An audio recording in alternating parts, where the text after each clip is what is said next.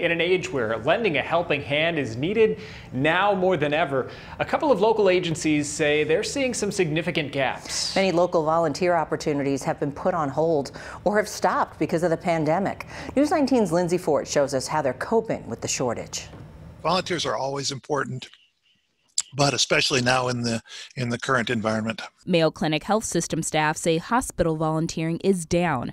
Their volunteers help with a variety of services like hospitality, transportation, and now assisting with disinfecting high traffic spaces like hospital visiting rooms, on top of what the hospital's janitorial staff cleans. And that's what volunteers do. They provide an extra measure of support, an extra measure of compassion, uh, an extra smile, uh, of a sense of feeling welcome and uh, uh, Uh, encouraged and supported. Over at Coulee Region RSVP, a retired and senior volunteer program is lacking in volunteerism as well, in part because of the age of its volunteers. Yeah, they definitely have a concern of, you know, being out in the community um, because of their age. Yeah, all of our volunteers are 55 or better. RSVP say they are looking at different ways people can still volunteer, like writing cards to nursing homes. Kind of redirecting them into a different volunteer opportunity is kind of my biggest job during the pandemic.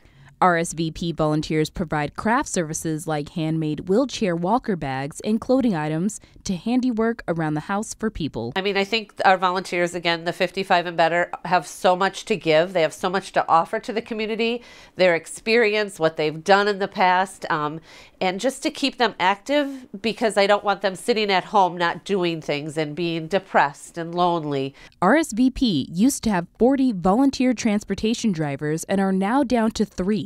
Staff say they used to do 20 rides a day and are now down to five. Pretty much most of our volunteers do go out in the community and help the local nonprofits in town.